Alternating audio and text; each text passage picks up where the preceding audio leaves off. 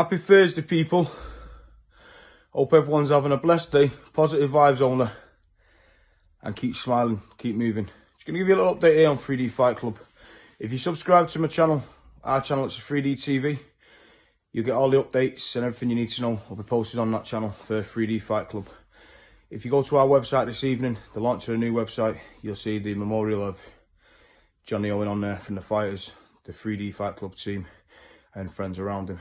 Ticket sales, table sales, venue venue details, 3D Fight Club, fight card details are all going to be on the website for 3D Fight Club. So if you can subscribe to 3D TV, um, it'll be appreciated.